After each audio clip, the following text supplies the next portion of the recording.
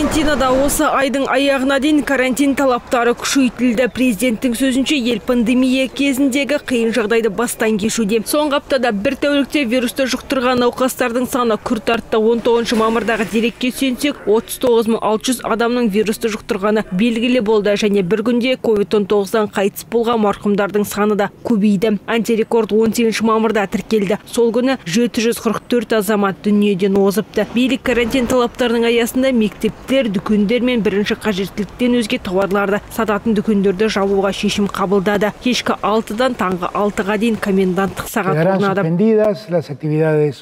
әлеуметтік экономикалық білім беру діни және спорттық сала тоқтайды. Негізгі тұрмысқа қажетті тауарларды саудалайтын дүкендер тамақ жеткізіп апарып беретін сала қызметтерін әзірге жалғастыра береді. Адамдарға дүкенге баруға серуендеуге болады. Алайда үйден қашып кетуге болмайды. Рұқсат қағазы бар. Адамдар ғана жұмысына бара алады. Елде екпе салу науқаны басталды. Әзірге 45 миллион аргентина халқының 2 миллионға жуығы коронавирусқа қарсы екпе салып үлгерді. Вакцинаның бірінші компонентін 8 миллионнан астам адам алды. Se han hecho hasta 120 mil күн сайын 120 мыңға дейін тест жасайды. Алайда вирусты жұқтырған науқастардың санын тез анықтау үшін күніне 300 немесе 500 мыңда тест жасау қажет. Және біздер AstraZeneca компаниясының 5 миллион дозасын күтіп отырмыз. Аргентинада covid-19 індетін 3,5 миллион адамның жұқтырғаны белгілі болды. Жалпы жұқпалы індеттің кесірінен 72 мың азамат қайтыс болды. Жалпы елде жан басына шаққанда аурудың көрсеткіші бразилияның көрсеткішінен басым. most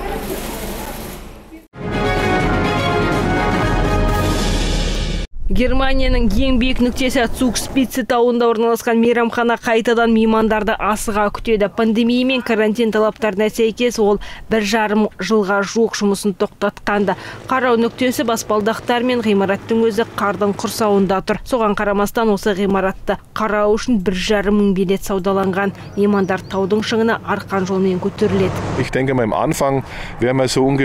Äh, 50, 60 Leuten Біздің гондол Kabine кабиналарымыз fahren. Da hatten wir 120 so адамға арналған. Алайда біздер қазір жолаушылардың санын bei 50-60-тан асырмаймыз. Жолдың 120 ұзақтығы Gästen 10 Platz минут bietet, гондолдарда dann ауа тазарады бірақ барлығы бетпердені diese 10 тағып жүруі тиіс. Fahrt werden ja wirklich gut durchlüftet mit FFP2-Maske. мейрамханаға келу үшін коронавирустың теріс нәтижесі және вакцина алған туралы құжат немесе ковидпен ауырғаны туралы дәлелдейтін қағаз керек. Ғимаратқа тек тапсырыс беруге ғана кіруге рұқсат бар. Ауа райының салқындығына қарамастан тағамдардың барлығы ашық террасаларға беріледі. Цукшпице биіктігі 3000 метрді құрайды. Аталмыш тау бавардың грайнау ауылы мен австралияның шекаралас өңірінде орналасқан.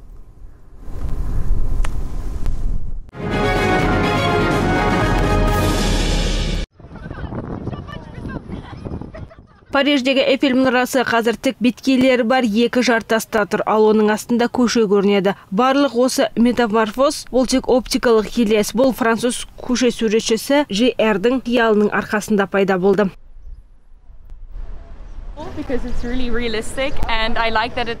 Шынымен де бұл күшті барлығы шынайы көрінеді. Бұл маған qu'avec Бұл не деген керемет күн. бүгін Парижде жазғы мейрамханалардың террасалары ашылады. Қала қайтадан тірілгендей көрінеді.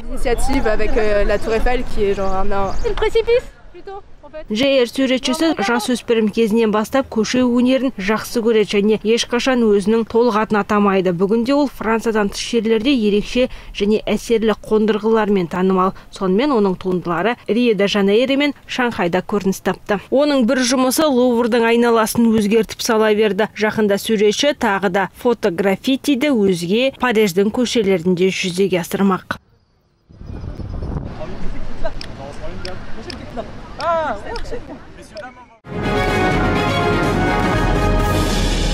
Қудалауға ұшырағаннан кейін Үндістанда бой тасалап жүрген Тибет үкіметінің басшысы Тибетте мәдени геноцид қатері болуы мүмкін деп мәлімдеме жасады. Оның сөзінше халықаралық қауымдастық өкілдері 2022 жылы Пекинде өтетін Олимпиада қарсаңында Қытайға төтеп беруі керек. Осы орайда орталық Тибет әкімшілігінің сайланған президенті Пемпа Церлинг әлі күнге дейін Қытаймен қарым-қатынасты бейбіт түрде реттеуді қолдайтындығын атап өтті. Алайда ол қазір Пекиннің ұстанған саясаты келешекте Тибеттің мәдениетіне қауіп төндіруі мүмкін деп. Мен үнемі айтып келемін, мен мәдениетке қарсы адам емеспін. Алайда саны жағынан көп ұлт аз халықты басып жаншиды. Бұл мәдени геноцид деп аталады. құқық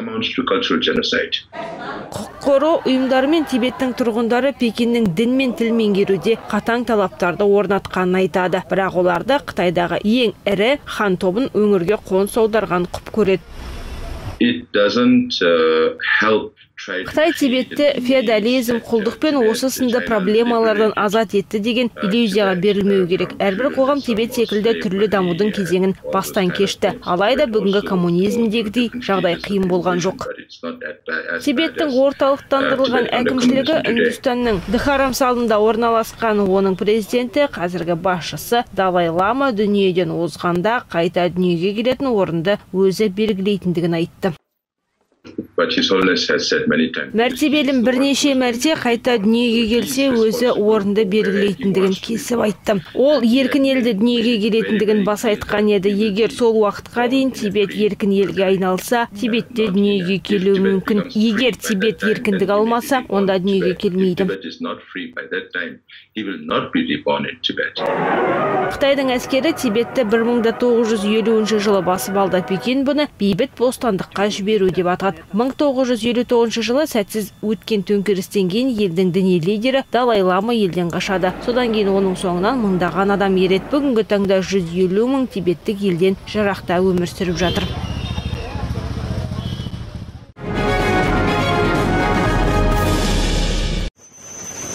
Үндістанда қуатты мықты туактая циклоны орнап соның кесірінен баржа қирады соның салдарынан 61 мұнайшы қаза тапты. Олардың мүрделерін іздестіру операциясы барысында тапты. Қазіргі таңда мумбайда марқұмдардың кім екендігі анықталып жатыр. Бүгінгі таңда жиырма шақты адам түзсіз жоғалып кеткен. Отыз бір мүрдені таныдық жиырма сегіз марқұмды туыстарына бердік. Тағы отыз мүрдені тану керек. Біздер днк сараптамаларын алып жатырмыз. Жақын уақытта процесс аяқталады. Баржа мумбайдан 70 шақырым қашықтықта орналасқан мұнай кен орындарында суға батып кетеді. Соның ішінде 260 адам болған. Олар қауіп туралы белгі беріп үлгерген. Соның арқасында 180 адам аман қалды. Туактая циклоны үндістанға соңғы 20 жылда орнаған ең мықты дауыл болды. Ол араб теңізінде түзіліп 17 мамырда құрғақ жерге дейін келді. Аталмыш құйыннан гуджарат махараджа гоуа картанака керал сынды штаттар зардап шекті. Табиғи апат қырық адамның өмірін жалмады. Әзірге құйынның кесірінен келген материалдық шығын есептелген жоқ.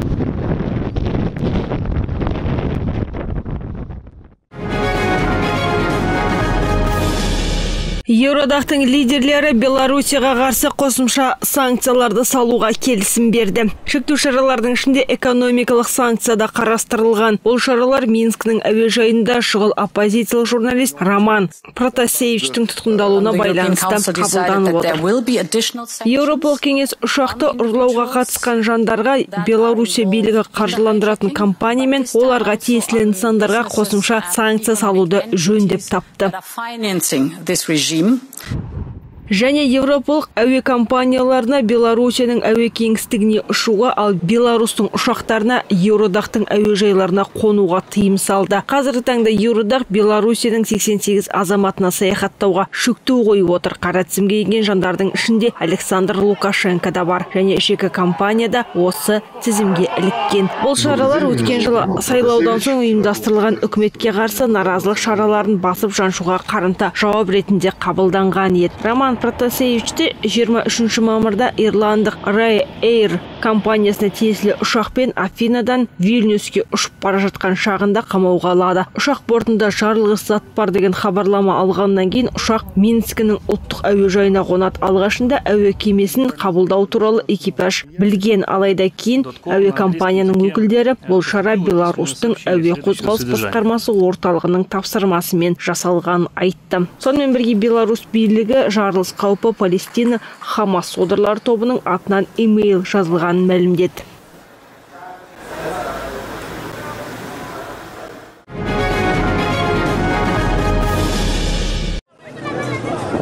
Конгоның гома қаласының тұрғындарынан маза кеткен адамдарды жер асты дүмпуі алаңдатып отыр. Азаматтар өткен сенбіде нироганга вулканы атқылағаннан кейін естерін әзер жинап жатыр. Жанарта оянған кезде оның қасында орналасқан ауылдың көшуіне тура келді. Табиғаттың тосын сыйынан қайтыс болған марқұмдардың саны 32-ге жетті. Және жақын күндері марқұмдардың саны тағы да өсуі мүмкін. Адамдар үсті үсті жоғалған туыстары мен қираған үйінді арасынан табылған мүрделер туралы хабарлап жатыр.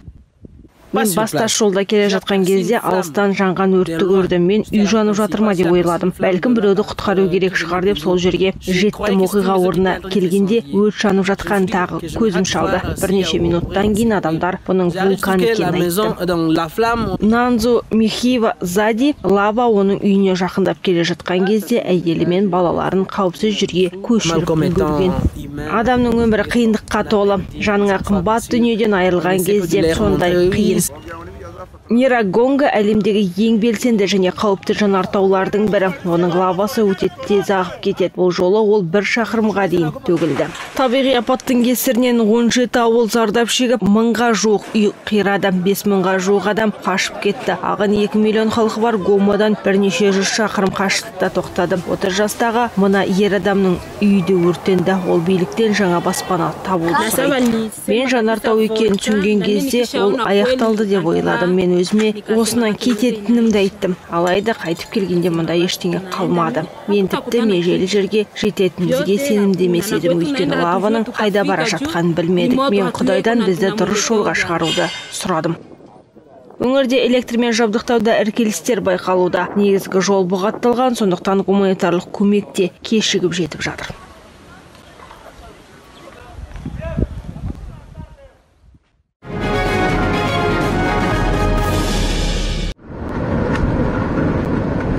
Үндістанның шығысына қуатты мықты яс циклоны келе жатыр. Құйынды жағалаудан көруге болады. Одеша мен батыс бенгалия штаттарында жайсыз ауа райы болады деп күтілуде. Желдің жылдамдығы сағатына 140 шақырымды құрап кей жерлерде оның жылдамдығы 155-ке дейін жетеді деген болжам жасалуда. Биліктің сөзінше циклон орнауы мүмкін жағалау маңында өмір сүретін 3,5 миллион адамды қауіпсіз жерге көшірген адамдарды уақытша лагерлерге орналастырыпты. Батыс бенгалия астанасы кулькатаның әуежайында ұшақтардың қозғалысына тыйым салды. Балықшыларға теңізге шықпауға кеңес берілген. Ауруханалар жұмыстарын тоқтатпау үшін тиісті шараларды қабылдап үлгеруі керек. Циклон орнамастан бұрын торнадо болды. Соның кесірінен батыс бенгалияда екі адам қаза тапты. 45 үй мен электр бағаналары зардап шекті. Яс циклоны бангладешке орнайды деп күтілуде. Осы уақытта үндістанға бұл орнаған екінші циклон болмақшы. Бірінші тутокое құйыны елдің батыс жағалауында болды. Бұл соңғы 20 жылда болған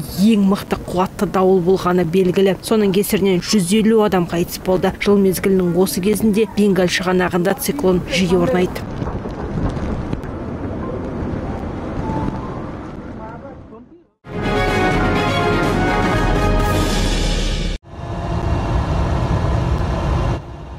Перудың билігі бейбіт масаист 16 тұрғында вале де лос риес апуримак джунглинда өлтірген жандарды қатал жазалауға уәде берді. Бұл өңір наркотрафикпен танымал. Мұнда перулік кокаиннің 75 пайызы өндіріледі. Перудің уақытша президентінің міндетін атқарушы бұл жағдай жазасыз қалмайды дейді. Político hemos visto como un grupo de terroristas. Қорқақ террорлық содырлар 16 адамды өлтірді. Кеше 14 адамның мүрдесін айттық. Бүгін тағы екі адамның мүрдесін тауып алдық. Марқұмдардың арасында балалар да бар. Мүрделердің арасында бір жастағы қыз бала, үш жасар ер бала мен екі жасөспірім болды. Бұл қылмыс үшін кешірім болмайды. Зұлымдыққа жарқырайтын жол атты қылмыстық топ барды деген күдік бар. Esta organización ha perpetrado Бұл ұйым полиция мен әскери қызметкерлерге бірнеше рет шабуыл жасады. 80-90 жылдардан басап жарқыраған жолда оқиғасы. Оларда қарулы қақтығыстар тәжірибесі де болды. Бірақ бүгін біз оларды есірткі картелі деп атаймыз. Una organización armada. Señor Ciro Galvez. Президенттің пікірінше топ 6 маусымға жоспарланған алдағы сайлауға кедергі жасауға тырысып бағуда. Оның айтуынша қасапхана орнында сайлау учаскелеріне бармауға шақыратын парақшалар табылыпты. Президент сайлауы социалист Педро Кассиле мен оның оңшыл кандидаты Хейка Фухимури түрмеде отырған экс-президент Альбертінің қызы қатысады. Билікпен жарқыраған жол террорлық ұйымының қақтығысы 80-90 жылдардан басталған. Қақтығыстардың құрбаны кем дегенде 69 мың перуандық болуы мүмкін. Содан бері топтау әлі қайда аз болды. Джунглиде белсенді жұмыс істейтін шағын ғана топ қалыпты. Билік бұл есірткі картельдерін қорғауды қамтамасыз етеді деп санайды.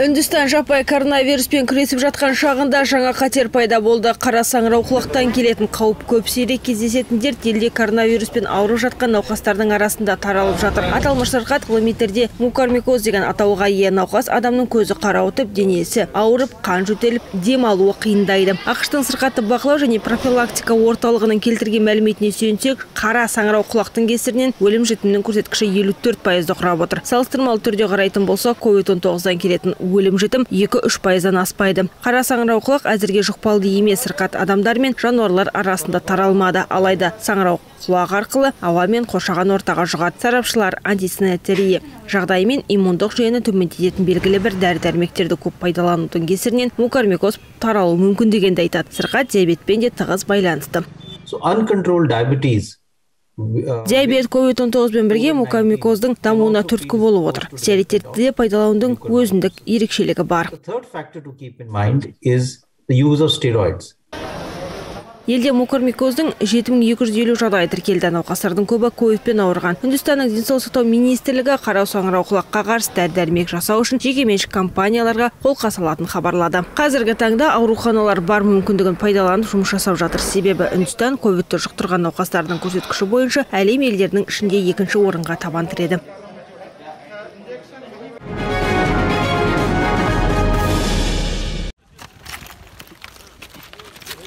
Біріккен ұлттар ұйымы Конгоның Гома қаласында жұмыс жасайтын қызметкерлерінің тең жартысын эвакуациялап жатыр. Аталмыш өңірде жақында жанартау атқылады. Соңғы күндері мұнда жүзге жоқ жерасты дүмпулері де тіркеліп жатыр. Конгоның шығысында орналасқан Гома қаласы өңірдің гуманитарлық операция үшін маңызды рөл атқарады. Біріккен ұлттар ұйымы сақтық үшін қызметкерлерінің тең жартысын Гомадан 50 шақырым қашықтықта орналасқан Букаву қаласына көшіріп жатыр. Жалпы 1750 адам өзге қалаға қоныс аударды.